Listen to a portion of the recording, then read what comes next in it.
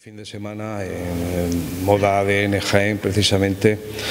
yo creo que se cumple un poco un, débito, un débito con personas, con creadores que en su momento tuvieron que salir. Parece que es que los municipios pequeños o incluso en la provincia de Jaén, como si no tuvieran cabida los, creadores, ¿no?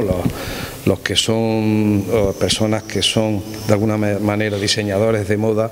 y de moda de vanguardia y demás. Y todos esos talentos que, que tenemos se han tenido que ir a buscar la vida afuera, lógicamente, porque el mundo de la moda tiene otros foros, otros ámbitos y otros entornos. Precisamente queremos retrotraer esto a, la provincia de Jaén y en concreto en Linares donde se dan pues un mayor número de exponentes de esta moda de, o de estos creadores de vanguardia que están adquiriendo una fama inusitada y que además todas sus creaciones están teniendo una gran proyección en el resto del mundo. Lo importante de esto no es solamente que, que bueno, por supuesto muy orgulloso de que Curro sea de Linares, que Inmaculada, que Felicidad, que el propio Belling o el eh, Eufemio y, todas estas personas que, de alguna manera mm, nos dan buen nombre y nos sentimos orgullosos de ellos. Lo que queremos es de alguna manera que se ponga de manifiesto ya no solamente lo que ellos hacen, y saber que existen, sino sobre todo facilitar esa sinergia necesaria, como bien decía Manolo hace un momento, con las empresas de vanguardia que tienen que ver con el diseño bien sea para el diseño de bisutería, joyas o demás. Eh, sabéis que la impresión digital, la impresión 3D, está teniendo un papel, un protagonismo fundamental en ello. Esas sinergias somos las que queremos mostrar y sobre todo eh, hibridarlo con, la, con esas empresas que hay en Linares, la misma Sinnova, por ejemplo, que pueden sumarse y que ya están trabajando en estos ámbitos, en estos entornos y en el, diseño y para utilizar esas vanguardias de, tecnología, hibridarlas con las tendencias de moda y con las creaciones de estas personas. Por lo tanto, ya no es solamente eso, sino mm, cómo podemos sacarle un producto, en este caso un producto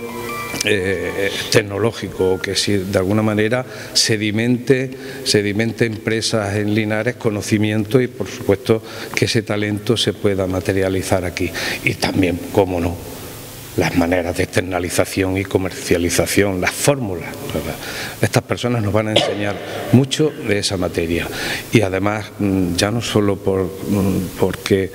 porque son creadores que, es que si, en, la ciudad no les damos ese cobijo, no les damos, y gracias a la Diputación que se ha prestado también, porque ya no solamente los de la gente de Linares, que los que nosotros pues un poco por aquello del local podamos tenerle y porque hay un, mayor número de, creadores, pero que la provincia de Jaén debe hacerse eco de esto porque tenemos personas, grandes figuras en este, eh, personajes que pueden dar mucho y decir mucho en el mundo de la moda y que la propia Diputación se haga eco de un evento de estas características y que lo haga aquí agradecemos enormemente porque es un ámbito, un campo en el que parece que es que para nosotros está vetado nada más que los, y nos ocupamos del olivar y demás. ¿no?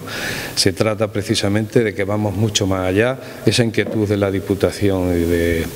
del área de turismo de Diputación, también que viene de atrás, se viene trabajando de hecho desde el propio FITUR,